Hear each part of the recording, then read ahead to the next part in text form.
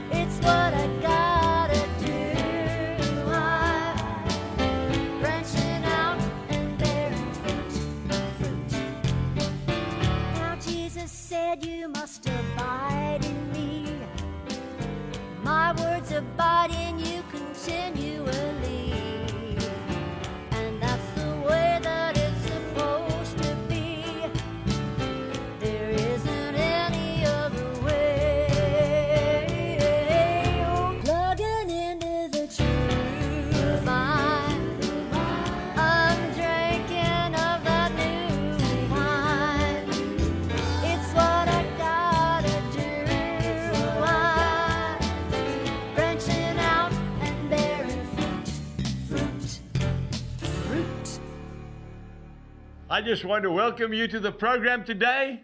We want to speak today about the fruit of the Spirit. And if ever we needed to exercise the fruit of the Spirit, it is now in this time, in this world, which is literally upside down. There is so much confusion, there is so much fear that people don't know what to do next. People, their nerves are on end. They, they don't seem to be able to think straight. This is not a time, folks, to play games. This is not a time to make jokes. Many people are mourning the loss of their loved ones that have died through the COVID 19 and through many other things. The economics, the political situation has never been so upside down. We need, you and I as Christians, we need to produce the fruit of the Spirit. Now, if we go to the Word of God, I'm sure you know the scripture. I'm talking about Galatians chapter 5, and I'm reading from verse 22. But the fruit of the Spirit is love, joy, peace, long suffering, kindness, goodness, faithfulness, gentleness, and self control. Nine fruits of the Spirit. If ever this tired old world of ours needed to see the fruit of the Spirit, it is now. I want to really encourage you to exercise those fruits. Now, I want to speak to you today about Dr. David Livingstone. Now, those of you that are watching that are not in the continent of Africa will probably know he is, he is probably the most famous missionary explorer in the world, actually. Right? He came from Blantyre, Scotland, and he was a mill worker. He educated himself and he became a medical doctor. He had tremendous resilience. That little boy would work until 8 o'clock at night in the mill. Then he would come home and go to school until 10 o'clock at night. He educated himself, he went to university, he became a medical doctor. But he had a tremendous interest in nature and he became an explorer. Now, I want to tell you something that's very special to me, and it's got nothing to do with the program. My late mother, my mom and dad came from Scotland. I was born in Africa. I'm an African. But her mother was a Livingstone. That's right. And she came from the west coast of Scotland, where David Livingstone came from, the Glasgow area. My dad's family came from the east side of Scotland, Aberdeenshire. But I'm so proud, and I really mean that, that hopefully, maybe, who knows, maybe there's a bit of Livingstone blood in me as well. I have been to the place in the heart of Zambia where they buried David Livingstone's heart underneath a tree when he died. He died at Chief Chitambo's village. And even today, I went up there with that big yellow truck, that seed sower. Even today, it is right in the wildest part of Zambia. It's beautiful, it's natural, but it's very, very far from the capital of Zambia, Lusaka. And I've been to that place. And the previous president, Kaunda, put up a monument there in his honor. But there's a tree there. You see, when he died, he died of malaria. He was 60 years old. That's right. He hadn't been home for years. Okay? One of his little girls, the first time he ever saw her, she was six years old. He buried his wife, who was Robert Moffat's daughter, underneath a baobab tree where the Zambezi River goes into the Indian Ocean. And Dr. Kirk said that he watched him, he cried like a little boy when his wife died. She was only in her 40s. This man paid a tremendous price for the gospel of Jesus Christ. He was also very instrumental in abolishing the horrific slave trade of that time. He had malaria countless times, and eventually that malaria killed him. They buried him underneath a tree. Now, not him, but his heart. They opened him up and they took his heart out and they said his heart remains in Africa. And they buried his heart underneath a tree. Then they embalmed his body and carried his body 1,500 miles, folks. That's 3,000 kilometers to Zanzibar. And they went with the ship to Britain because they wanted to show the British people that they did not kill him. He died of malaria. His remains are in Westminster Abbey today in a very prominent place. In fact, when, he, when they had the official funeral, I think the Queen and government and everybody was there. David Livingstone. And what they call him in Central Africa is the good man. That's his title. And Livingstone, the town, remains Livingstone. And Blantyre, the town in Malawi, is the name of the town where this man of God was born. And there's a beautiful big mission station called Livingstonia. I want to say to you that this man was a man who produced the fruits of the Spirit. Now, there was another man, and his name was Henry Morton Stanley.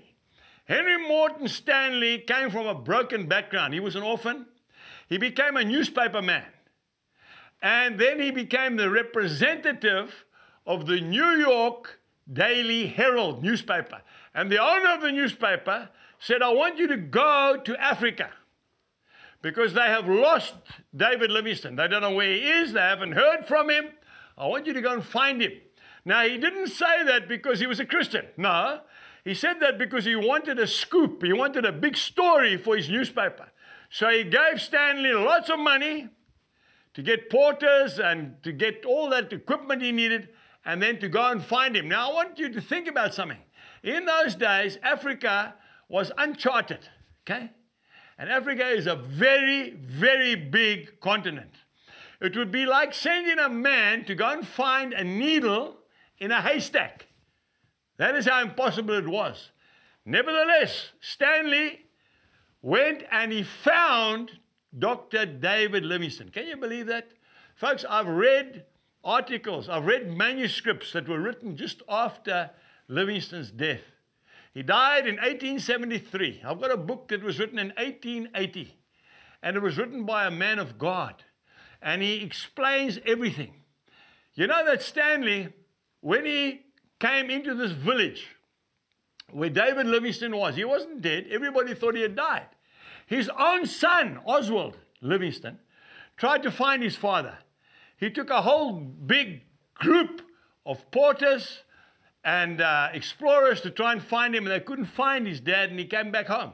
But Stanley, who was an unbeliever, he was a rogue actually, he was a ruffian, and he says it himself, short tempered, a, a go getter. He actually found the man of God. And when he found him, right up in the north of Lake Tanganyika, right in amongst all that the slavers, the Portuguese, and the Arabs, and they were, they were, they were taking people, God's people, and capturing them and taking them down to the coast and taking them overseas to America and all over, selling them as slaves. Right in the middle of all that, Stanley found Livingstone. And what I love about this whole story is he says, Stanley says in his memoirs, I walked into this clearing and I saw this gentleman come out of a grass hut. And he stood tall and he was immaculately dressed, clean. He said, but his clothes were stitched many times, they were worn out. Okay? Even his teeth had taken strain because of the lack of food. And when he was eat, given food, he could hardly eat it. A man of God. Now, he said, I didn't know how to approach him. he said, because remember now, Stanley was uh, from uh, the USA. He didn't know whether to hug him, whether to shake his hand. He didn't know how to address this man. I mean, he was overwhelmed, first of all, that he had found him. The only white man in Africa at that time, in Central Africa. And he walked up and he took his hat off and he said those words that everybody in the world knows Dr. Livingstone, I presume. Makes you want to cry. That's the only way. He didn't know how, how to do anything. And he took his hand, and Livingstone took his hat and he said, Yes, I am Dr. Livingstone. And Stanley spent four months and four days in the presence of this man of God. And he says in his memoirs, not once did he hear an ugly word, a word of criticism, any bitterness in his heart. Remember, people had left him, they, they had just abandoned him. You know, all the London Missionary Society and the National, International uh, Geographic Society, the whole lot, they'd just given up. Yeah, he's dead. But Stanley found him. And then Stanley spent four months with him. He said, Never once did I hear anything come out of this man's heart, only goodness. And what uh, this man, David Livingstone, said when he saw uh, Stanley was, he said, You have brought me new life. He said it not once, many times. And the two of them would sit and they would talk and they would talk for hours, hours. And you know, when you spend four months and four days in the wilderness with one person, you get to know them. And Stanley was anything but a believer. He was a ruffian, but he said that this man impacted his life and changed his life, I'm sure, like no one else. four months and four days. I lived with him in the same house or on the same boat or in the same tent, and I never found fault in him. Words spoken by Stanley. I want to say to you today, you and I need to do the same. We need to be those who speak less and love more. You know, it's not even what you say, sir, madam, it's who you are. Livingstone only led one person to Christ. That's right. King, uh, uh, King Sechele. He was the only man that Livingstone led to Christ himself, as, and he became a full believer. And yet, do you know a more famous evangelist in Africa? I know of evangelists that have, and wonderful people, by the way, who have preached the gospel to millions of people, but they're not as famous as David Livingstone. Why? Do you know that they've got a statue at Victoria Falls of Dr. David Livingstone, the good man, the doctor who helped people, all kinds of people Arabs, Portuguese, British, locals. He helped whoever he could.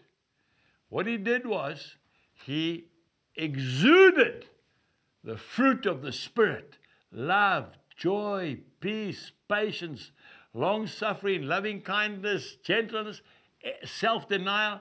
And that was his life. And I want to tell you to this day, you can go to Zambia, and any child from any school will tell you exactly who Dr. David Livingstone is. And, that, and he's been dead for how many years? We need to do the same. You know that in my little prayer room on the farm here, I have got a, a framed plaque with a branch, just a twig actually, of a tree, and I've pressed it. When I went to David Livingstone's burial place, I took a, a sprig off the tree under which his heart was buried. Apparently, it's the second tree that's been planted there. The first one was burnt. But this tree itself is a huge tree. And I took that, that little sprig and I've pressed it and I've put it in my prayer room to remind me of this man. Okay? We are not talking about the man, we are talking about the Holy Spirit in the man. And often I speak to you about quiet times, and I speak to you about a poustinia, which is the Russian word for that little house at the bottom of the garden where people go and spend time with God. I've got that place. But I've also got one in my mind because I travel a lot and often I can't get home in time to have my quiet time. So I have a quiet time in my mind, and this is not positive thinking, madam, so don't think that way. This is called meditation. And that didn't come from the Far East, it came from Jesus. He spent more time in meditation than anybody else. And when you go to that burial place where Dr. David Livingstone's heart is buried, you walk along a little path and you go down to a wetland. And there's big reeds. They stand about 12 foot tall and they blow in the wind. And there are natural trees, indigenous trees on both sides of the path.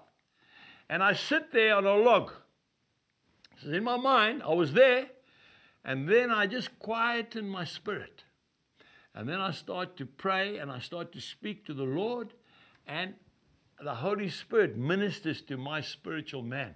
I want to say to you today that that is how you expend the fruit of the Spirit. No other way. It's not by getting a degree in theology, and I have no problem with education, by the way. All my children are well educated. But you need to spend time in the presence of God.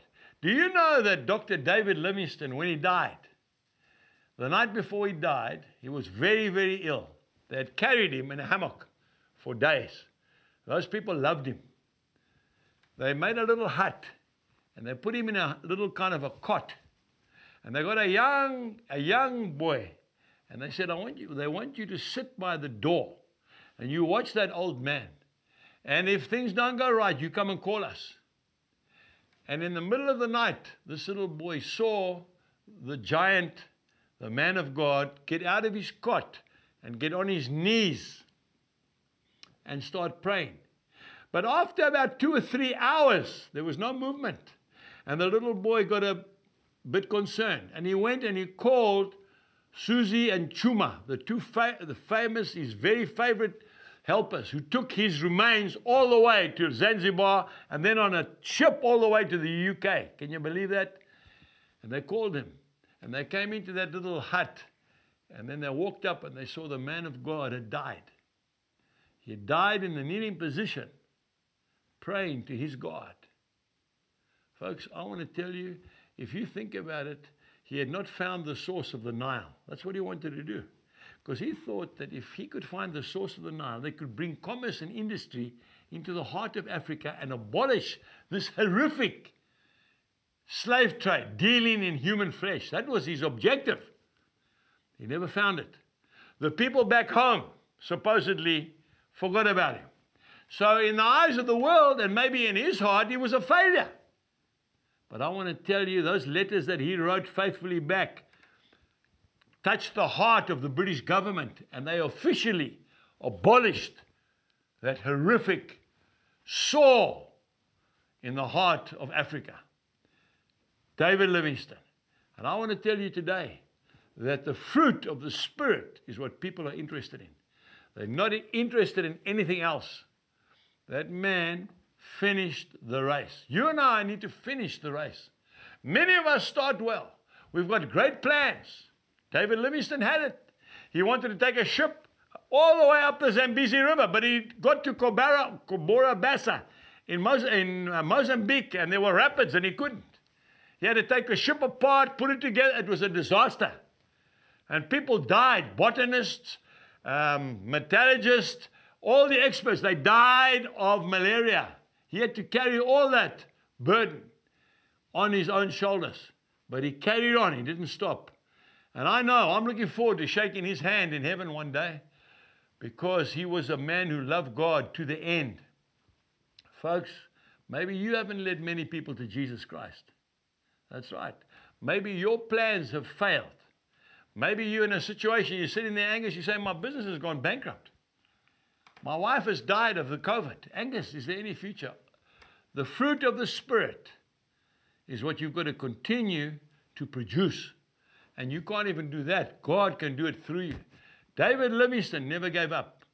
He never backslid. He never turned his back on God. And I'm telling you now that in Africa, that man's name is better known than any other missionary I've ever heard of. And I've studied them all. Why? Because he produced the fruit of the Spirit. And he never gave up right to the day that he died. I want to pray for you that the Lord Jesus Christ will give you the strength to continue to produce the fruit of the Spirit, which is love, joy, peace, long suffering, kindness, goodness, faithfulness, gentleness, self control. That's what we've got to produce. Don't worry about anything else. God will take care of the rest. We're going to pray now, and I would like you to pray this prayer after me because I really feel that many of us watching this program are feeling a bit down. You're not seeing the results that you expected. Neither did David Livingstone. But when he was tested, and when Henry Morton Stanley visited him, a man from the world, he was amazed at the love and the fruit of the Spirit that he saw in that old Scottish missionary. Do you know on the day that they said goodbye, he was supposed to leave early in the morning, five o'clock. By eight o'clock, they still hadn't left. He couldn't leave him. And they had to walk, and Livingstone walked with him for a, a while, and he pleaded with him, Please come with me. Don't stay here. Come back. You've done enough. No, son, I can't. I've still got to finish the job. And he was very emotional when he left David Livingstone because of the fruit of the Spirit that he had experienced through that man. Let us pray. Pray after me. Dear Lord Jesus, that's right. I want to ask you to forgive me because I've been walking by sight and not by faith. 2 Corinthians 5 7. As I ponder on that great missionary, African missionary, David Livingstone, who gave his life for the gospel. Not only his life, but his whole family, his wife, and his children. Lord, he continued to display the fruit of the Spirit. And that's what we want to display. Not bitterness, not anger, not unbelief, not turning his back on Christ. No, to the end. And as a result, tens of thousands of Zambians Tanzanians, Congolese, people from all over Angola know David Livingstone as the good man, the man of God, the man that loved Jesus Christ, the good teacher. I want to be like that, Lord. Please, Holy Spirit, fill me with the fruit of the Spirit. I ask this in Jesus' name. Amen. Well, there we have it. Now, what we need to do is to produce it. And we don't have to try. We have to spend time in our poustinia, in our quiet time room daily. That is where we get the fruit of the Spirit and then go out and deliver. David Livingstone must have spent many, many, many hours and years on his own. He had time to produce the fruit.